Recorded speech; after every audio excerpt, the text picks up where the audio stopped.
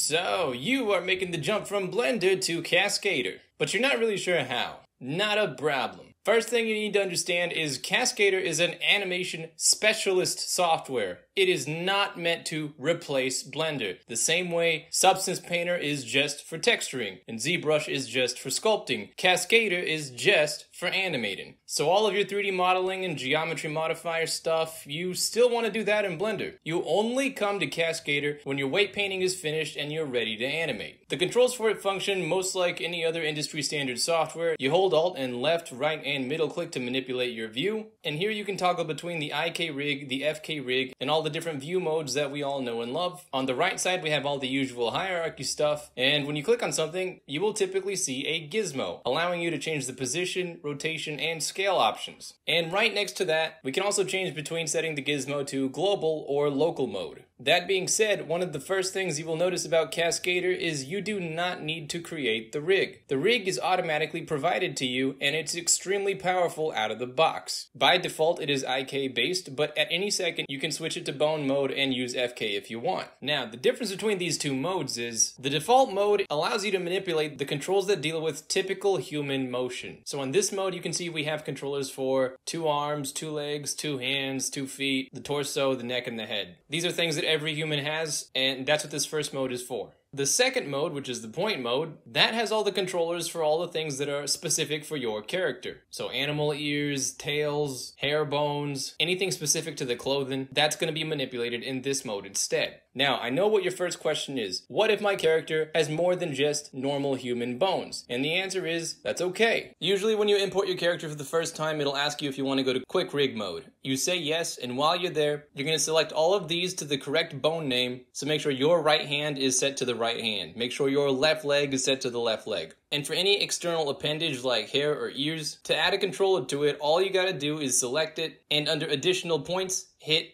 add. This extra sticky outy part is the direction the bone is facing. So if you're doing things like a tail, you'll probably want to make sure that all of these are facing the same direction. Positive is forwards, negative will flip it around. Now, you cannot make your own custom rig controllers. When you add bones to the rig, they will translate to normal Cascadeur rig points, which are manipulated the same way that all the other joints in the default skeleton are. However, if you go under commands and constrain, you will see a list of modifiers that you can use to do many of the things that you used to be able to in your custom rig in Blender. On the bright side though, because Cascadeur's one size fits all rig, it does a great job at automatically translating just about every other skeleton to itself, which means if you import pretty much any humanoid skeleton into Cascadeur, it will automatically be able to create a control rig for you, which allows you to begin animating immediately. The philosophy behind this software is to reduce the amount of time between importing a character and starting to animate it. So, by providing you an extremely powerful default rig, you spend less time rigging and more time animating. But I do believe they have plans to eventually allow us to create our own rig controls, so in the future you'll probably see that coming in later on. Now, the reason the default rig is designed the way it is, is because the animation AI is constantly on in real time while you animate. Cascadeur has a bunch of in-house motion capture actors and actresses that they record to build their own unique database of animations. And it's from this database that the AI automatically guesses what the most likely poses of each of your body parts are supposed to be. You can see this in action if we just start grabbing and moving the feet around. Notice how by just moving the feet, the AI is already adjusting and anticipating what the most likely pose for the rest of the body considering where we moved the feet. Now, if you have parts of the body that you don't want to automatically be affected as you move the feet around, you can just click that part and hit Shift Z. And now you see when you move things around, that part will no longer move. Now to remove a blue key, all you gotta do is select it again and hit Shift Z. You can also drag select and Shift Z multiple points at the same time, and if you hold shift, you can precisely select multiple things at once. If you double click a joint, it will automatically select all of its children. Control Z will undo and Control Shift Z will redo. If you look at the bottom, you will see a timeline. It typically starts with one keyframe at the beginning. If we scroll to another frame and press F, it will create a new keyframe. And if we set a new pose for this frame and then highlight the space in between, open up this menu and hit the purple button, it will generate the most likely animation that would have needed to happen between these two frames. If you're not happy, you can right click and set a bias so we can bias it towards walking or running or combat or acrobatics. It's really whatever you need. But the point is, this creates a baseline for you to start building off of really fast. If at any point you like any of the frames that it generates, you can press F again to give it a key, and now you can start making any micro adjustments that you want on top. And it's extremely flexible because at any point we can change and move around these keyframes, and the in-between will try and account for these adjustments in real time. Just keep in mind that the in-between function is based on real time between two frames. So here you can see the in-between is trying to walk from one position to another. But if we make the positions farther away without increasing the time, now you will see the character try to run to that position because running is the only way for it to naturally get to that same position within the same amount of time. If the in-between looks a little bit weird, it probably means you don't have enough frames in between for it to generate something that makes sense. Now, you don't have to use the in-between feature if you don't want to. As you can see, we can also use different types of typical curves like Bezier, linear, and snap the way you would in any other traditional animation software. If you drag select multiple frames and then hit Alt and press F, you will be able to key multiple frames at the same time. And if you ever want to copy and paste multiple frames simultaneously, double click the middle to select all, select all the frames you like, Control Shift C, then go to another part of the timeline and drag select the same amount of space, and then hit Control Shift V to paste.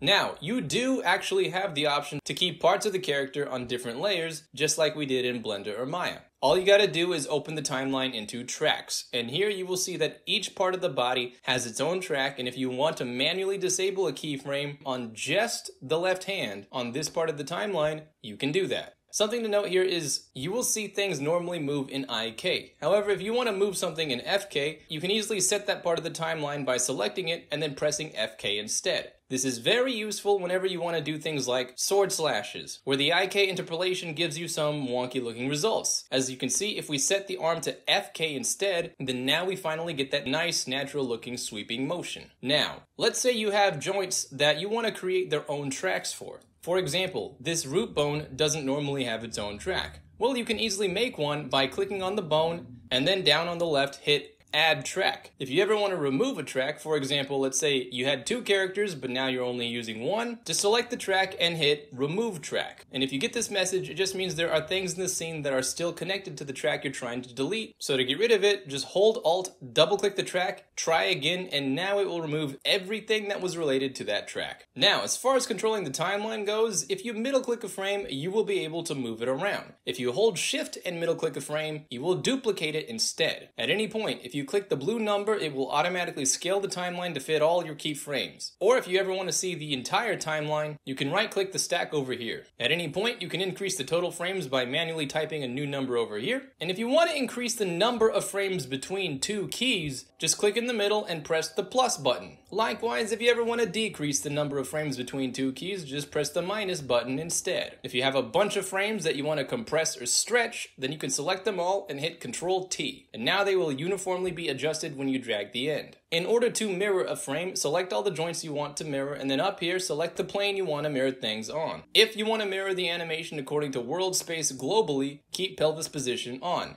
Otherwise, turn it off. Now, once you have two keyframes, you can go up here and turn on auto physics. This will do its best to try and apply real world physics, time, and weight shifting momentum in the animation. It's kind of a proto form of the purple in between feature. It's actually a great way to quickly turn a few keyframes into an animation that actually feels like it has real world weight and velocity. At any point, if you like what you see, you can click the snap to physics button and this will bake the green simulation directly onto your original keyframes, allowing you to edit the details even further and repeat the process until you're happy. Now here's a cool little trick. If you ever want to automatically add some secondary motion to the end of the animation, if you just duplicate the last frame, extend it a little, then recalculate the physics by turning it off and on, you will see that physics has simulated a more realistic recoil at the end of the animation, which of course you can now bake to make real.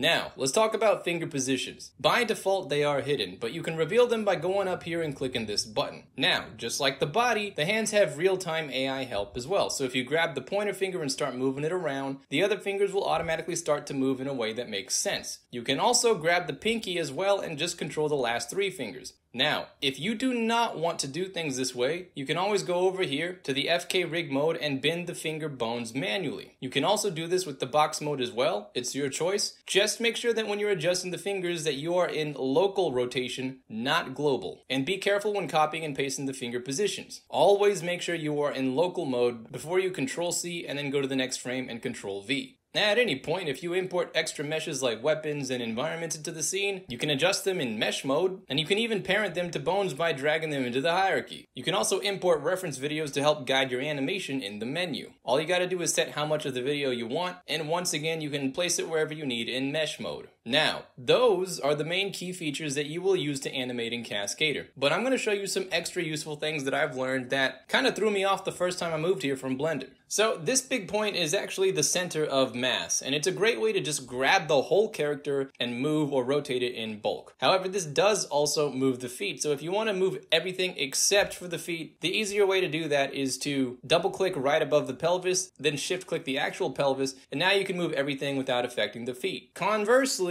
you can also press R to lock joints in place, so another way you could do this is just by locking the feet and then moving the center of mass. And this is actually the easiest way to get the character's heel to lift off the ground while keeping the toes planted on the ground. At any point, if you want to unlock joints, just click them and press R again. Now, one of my favorite things you can do is set the pivot point wherever you want by just holding Alt and right clicking. This becomes extremely useful when you go into point mode, which is basically like the normal mode, but it gives you finer control. So if you want to rotate the pelvis left or right, you just got to select the pelvis points and then hold Alt and right click the pivot point, and now you can rotate the hips based on that point. Now, this is also a good time to talk about feet position, because most of the time you will have auto physics turned on while you're animating, which lets you see what the real animation looks like. Now you will notice that when the toes have no blue keys, they will try their best to snap to the floor if they are close enough to the main body. And you will notice that when they do snap, they will turn green. This means that Cascadeur understands that those parts of the feet are indeed contacting the ground, and you will see them stop turning green when you see they are not touching the ground.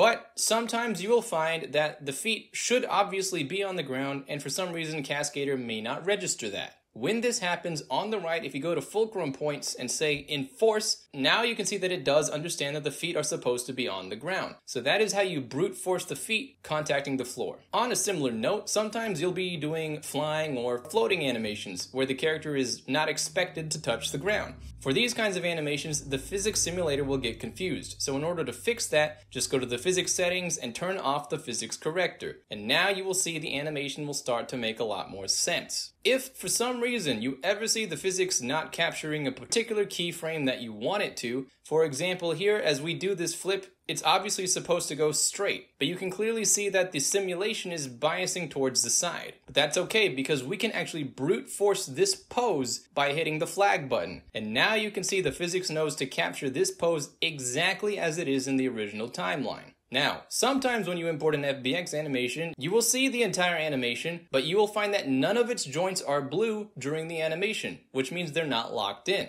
This is very common when you import motion capture data. So, you will want to make sure that before you make any adjustments to lock the poses into each frame. And you can do that by selecting the entire timeline, double click the middle to select all, then going up and then hitting the auto pose lock state. And now, if you go through the timeline, you will see that the joints have now been locked blue to each keyframe. So when you adjust things now, it's still gonna need to be cleaned up, but you won't break the poses as you work. Also, one of my favorite parts of animating in Cascadeur is how easy it is to make sweeping changes across the entire animation. Let's say we have a hand waving loop like this, but the hand is way too high, and I want to lower it uniformly across the board. Well, just select all the keyframes that we want to adjust, and then activate the interval edit mode. Now, if we make an adjustment like lowering it a little bit and then turn edit mode off, you will see that change has been made across all the frames we had selected simultaneously. Now, let's say that we have something that you want to spin continuously. Well, to do that, you just drag select the interval you want something to rotate, press Alt F to keyframe everything, hopefully you've made a new track for it, and then set it to linear. Turn interval edit on, make sure the thing that you want to spin is selected, and now on the last frame, rotate it in chunks less than 180 degrees. If you see the gizmo shift shades, you have gone too far. So you just gotta keep rotating it in small chunks. The more you rotate it, obviously the more it's gonna spin. Another extremely useful feature in Cascadeur is the tween machine. This is a feature feature that allows us to have joints move towards a position that they were in in the frame before or the frame after. Now the best use case I've found for this is when you have an animation and the feet position is supposed to stay consistent. For example, here the foot is obviously anchoring the entire animation and we don't want it to move from this position. So something that we can do instead of copying and pasting the position from the last frame, we can actually go straight to that frame into the tween machine and if we move it forward, it will now move to the exact same position as it is in the next key frame. Or if you do it the opposite way, it will move to the exact same position as it is in the frame before. Another useful tool that you should probably know is parent constraints. Let's say we wanted the IK hand R bone to follow the right hand. Well, to do that, while you're in the quick rig mode, with the IK hand R bone selected, we shift click the blue ball of the joint that we wanted to follow. In my case, it's the right hand. And then under additional actions, hit connect. And now you can see when we're animating, the IK hand bone always follows the hand. Or let's say that we wanted to create a system where one hand follows another. This would be something common for things like two-handed weapons. Well, to set that up, you just go into point mode, double click the hand that should follow the other, then shift click the thing that you want it to be parented to. Then go to commands, constraints, set it to points, and then pick the parent. And now on the right under constraints, you can set the frames that you want this constraint to be active. Just remember that you have to be in point mode when you're using this constraint. Also, if the constraints look like it's not working on the frames in between keyframes, you'll want to select everything in between and then turn the constraint on for that interval. Likewise, let's say you have a two-handed position. The second hand is in the correct position on the first frame, but it's not in the correct position on the other frame. Well, to fix that, go to the good frame, double click the